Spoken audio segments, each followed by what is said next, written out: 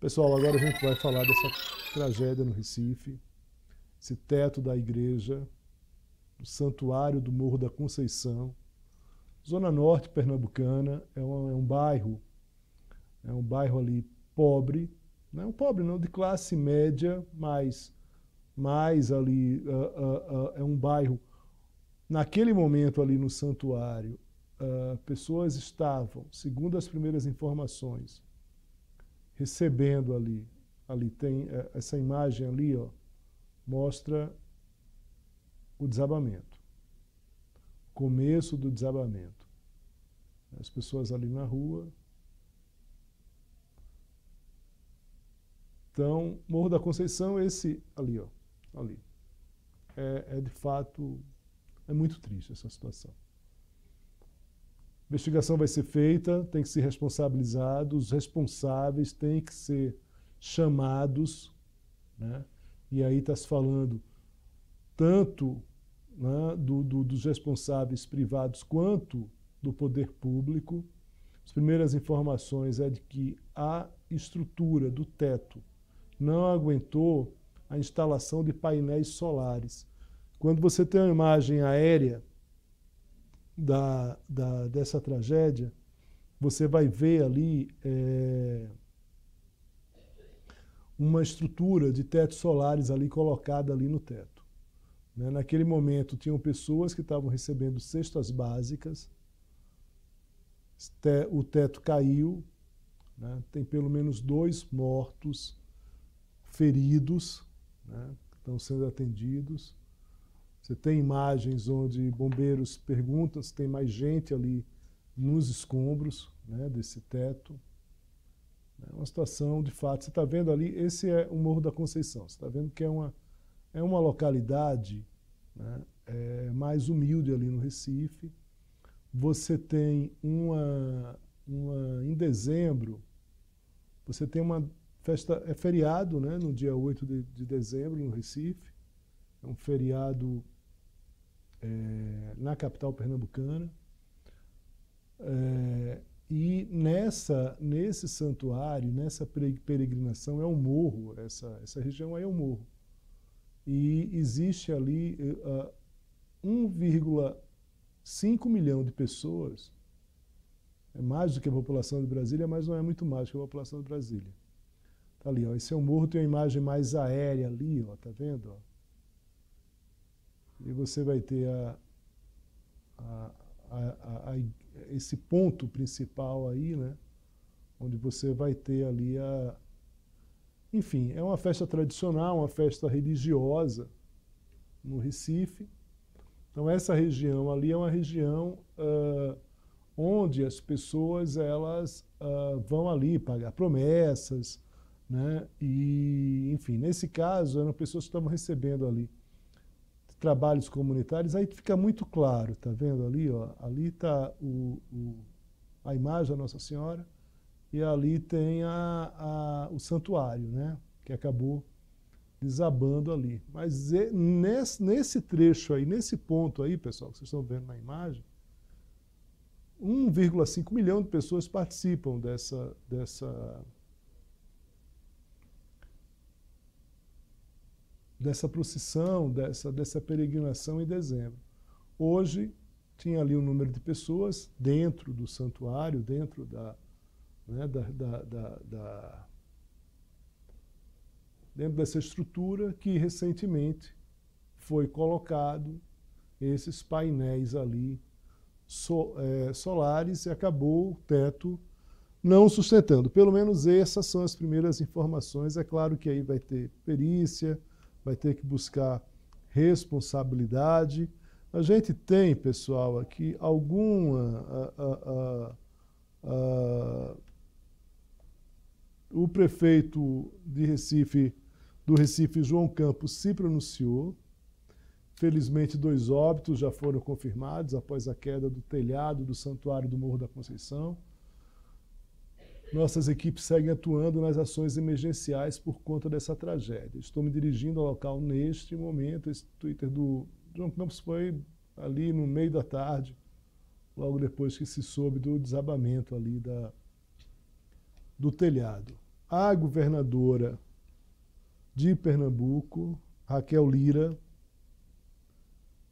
também se pronunciou. Raquel Lira, é, acabo de saber sobre o desabamento de parte do teto do Santuário do Morro da Conceição, no Recife, espaço de fé tão importante para a nossa agenda, para a nossa gente. Estou no sertão para a agenda administrativa. Raquel Lira é de Caruaru. Né? Ela, ela, na verdade, a formação política dela é de Caruaru. Estou no sertão para a agenda administrativa, mas acionamos nossas equipes de segurança para resgate e atendimento imediato às vítimas. Que Deus e Nossa Senhora da Conceição console a todos. É de fato uma situação muito triste, muito triste. A equipe do SBT está lá no. A gente está com a equipe lá no Recife, acompanhando as últimas informações sobre essa tragédia. A gente, inclusive, vai trazer o pessoal, a, a equipe do Recife, para falar com a gente. Deixa eu só pegar mais informações aqui, pessoal. As últimas informações sobre esse episódio que por exemplo, essa, é, essa, essa festa no Morro da Conceição, ela tem 120 anos. Esse, esse, esse evento tem 120 anos. Lula, o presidente Lula se manifestou sobre a tragédia, prestou solidariedade, com muita tristeza, soube das mortes e dezenas de feridos, alguns em estado grave no santuário do Morro da Conceição, na zona norte do Recife. Uma tragédia. Minha solidariedade com as vítimas, seus familiares, amigos e com a cidade do Recife neste momento. Com muita tristeza sobre as duas mortes, dezenas de feridos, alguns, em estado grave. É isso. Além, além da, da Além disso, a gente tem aqui. Uh, no Recife foi decretado luto oficial, já, após a tragédia. Essa festa, como eu estava falando para vocês, essa festa no Morro da Conceição, a gente estava com as imagens. Essas aí são imagens da tragédia, mas Tiago estava colocando ali uh, imagens ali do que é esse morro, né? Então, a imagem da Santa, depois vai abrindo mais essa imagem aí.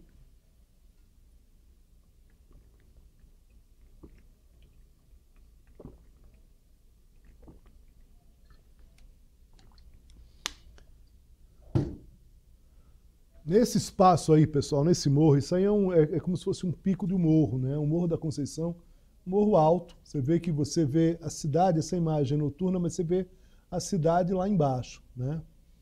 Ali é um, é um bairro, né? Um, um bairro na, na zona norte, né? No Recife. Né? E esse ano, essa festa aqui é uma festa em dezembro. 1,5 milhão de pessoas participam dessa festa aí. Agora, em 2024, será, celebrado 120 anos. Né? Cada vez mais se, se aproxima aí o, o, o motivo desse desabamento para essa instalação de placas solares no telhado. Então, você tem que saber exatamente quem colocou, como colocou, quem autorizou, quem deixou de fiscalizar? Qual órgão público ficaria responsável efetivamente pela, por essa fiscalização? Qual a responsabilidade dentro da própria, da, da própria atuação aí da igreja nesse caso? É claro que a gente, uh, nesse momento, lamenta toda a situação, mas é preciso cobrar responsabilidade. Aqui a gente está tendo imagens nesse momento né, do cinegrafista, da nossa equipe né, do SBT lá no Recife. Pessoal, é isso. Tem uma entrevista agora da vice-governadora Priscila Krause.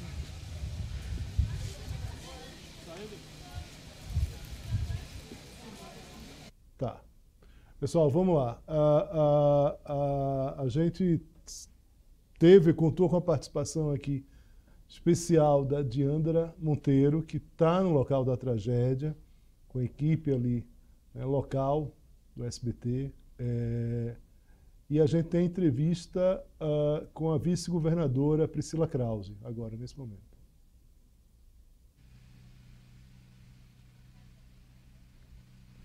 Vice-governadora, muito obrigado aqui pela presença aqui com a gente no Poder Expresso. Agradeço muito. Começo perguntando para a senhora uh, quais as, as informações oficiais que vocês têm neste momento primeiro eu que agradeço, Léo, vocês acompanhando aqui junto com a gente essa tragédia. A gente se solidariza com todas as famílias, tomamos aqui todas as providências possíveis até agora. É, mas o balanço que a gente tem agora de números oficiais, é claro que nessas primeiras horas esses números às vezes eles sofrem alguns ajustes, mas nós tivemos 24 vítimas, sendo duas fatais. É, nossas equipes chegaram muito rápido aqui. Eu estou aqui desde as duas e pouca da tarde. Estou é, aqui esperando a governadora Raquel Lira, que está em deslocamento do interior para cá. É, as nossas equipes, a equipe de SAMU, fez o resgate dessas, dessas vítimas. 22 que foram as vítimas com vida foram encaminhadas para as nossas unidades de saúde, hospitais e unidades de pronto atendimento.